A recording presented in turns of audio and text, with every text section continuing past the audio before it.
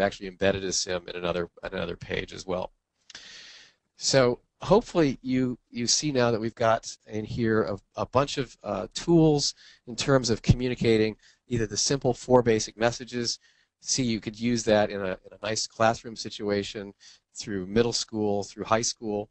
Um, and you can also have a little bit more serious discussion about what the uh, policy proposals might be and their impacts using this more sophisticated emissions dynamic indicator that is here.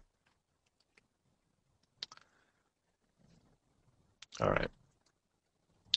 So remember we're back to the, the, the, how do you get the message out there. So one is to use embeddable SIMs. We've got the less detailed one of communicating four messages. We've got the more sophisticated one, which demonstrates the potential for C-roads. You can also run a mock climate negotiation. So many folks out there have run Climate um, Interactive's um, Copenhagen Climate Exercise, which uses a simulation like uh, the, the proposal one that I just showed you, um, in large groups where people play different nations, different nation blocks, and they come together to try to reach an agreement. What's interesting about doing it that way rather than in the lecture mode that I just did is that people actually get to feel what it's like to be different groups in different parts of the world.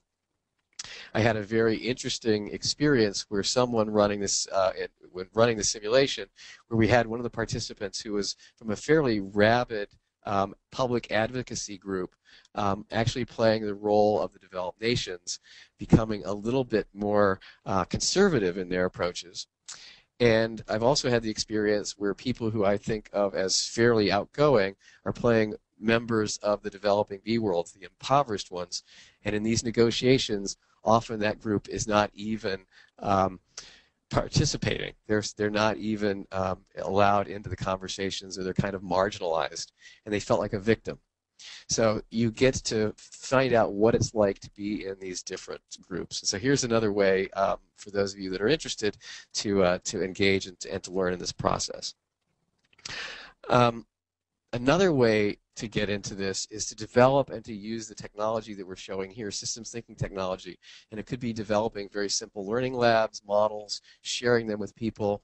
Um, it could also be developing your own um, set of indicators that you wish to follow, and again, communicating and, and using and activating the viral social networking networks to do so.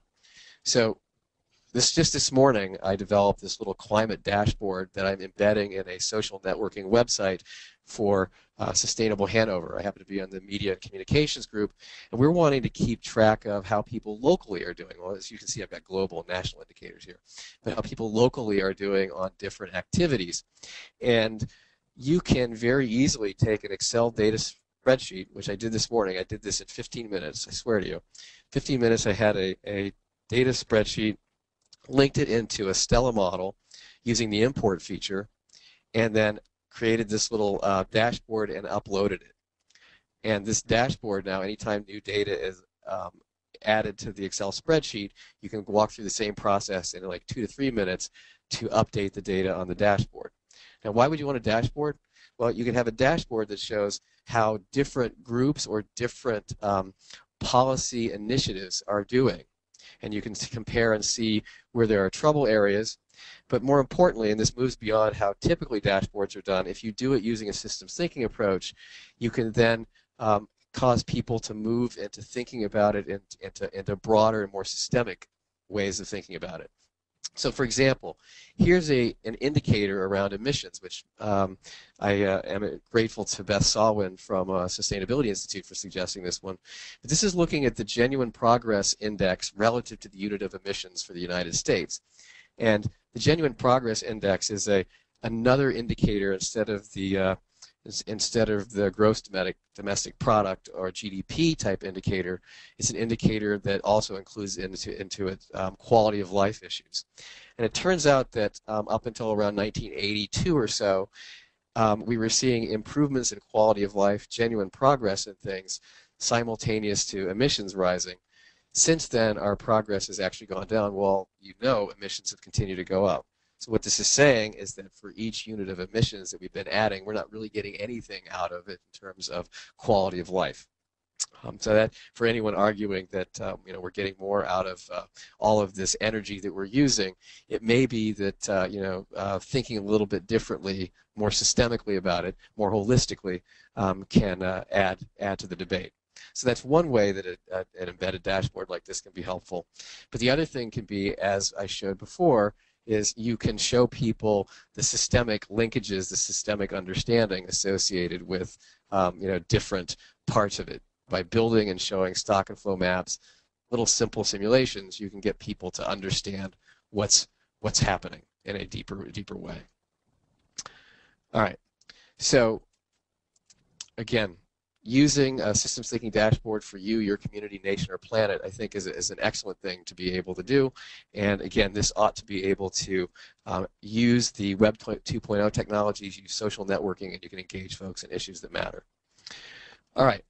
So I promised that I would show the future, what the future could look like, and I've got um, information here from a colleague of mine, Chris Weil, from the Systems Thinking Collaborative, and you know it's very important, and uh, she's a strong advocate of this, as is John Sterman and some others, that often we present the information that you just went through as fairly bleak, looks almost hopeless, to provide a vision of what the future could look like, because without that vision, despair and inaction can set in. So we want to avoid that.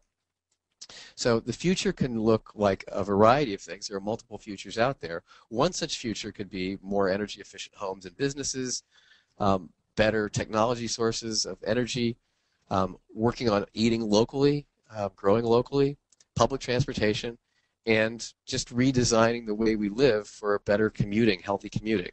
So let's look a little bit more detail at these things.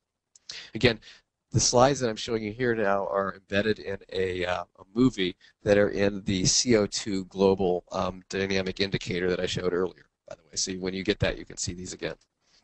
So we can access our higher selves through ingenuity, grit, and looking to the future. Let's, let's uh, not be ostriches here. So one of the things, the areas we can look at is areas around renewable energy. And you see um, certainly a lot of growth in solar and wind. Um, there's a lot of talk about smart grid. And if we can get these technologies in place, that's one area where we can see some uh, some major impact. These also have economic implications because they can ultimately reduce costs in the long run. And in developing them, there's job creation and all of that going with it. Other um, things that you can do is to eat locally um, in organic foods. It turns out that um, uh, you may not be aware of this, but food the average American eats travels approximately 1,200 miles or so to get there. It's a lot of energy and transportation costs. So eating locally is one thing you can do to, uh, um, you know, really cut down terms, you know, the transportation um, emissions that are associated with food production anyway. Um, there's a lot of different vehicles and cars. There's there's five electric cars you can buy right now. Some of them are almost cute, like they might be made by Apple or something here in the upper right. They look like uh, um, almost iPod-like things. Um, you know, you, there's all kinds of uh, vehicles that are out there that uh, you know we could start getting into right now. Um, looking towards other types of transportation, low carbon transportation options are out there. Um, we're talking about high-speed rail, but just getting regular rail up and going would be a huge improvement um, in terms of the amount of uh, fuel burned to move people or goods.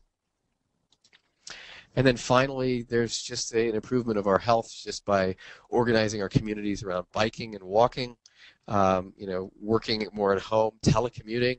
All of these things can, uh, you know, reduce transportation um, associated with commuting, as well as improve health. Um, getting out and walking is a, is a good thing um, for a variety of reasons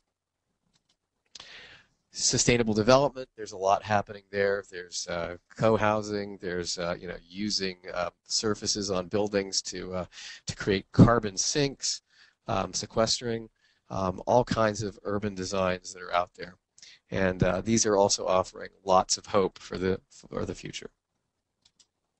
So um, you know, Chris Chris has this slide that she includes in the very end about yes we can.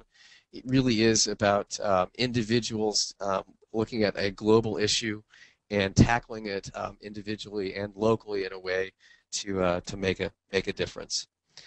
So um, you know, with that, that's a lot of material. I've presented um, several things that, again, I think you can use to uh, to describe the issue.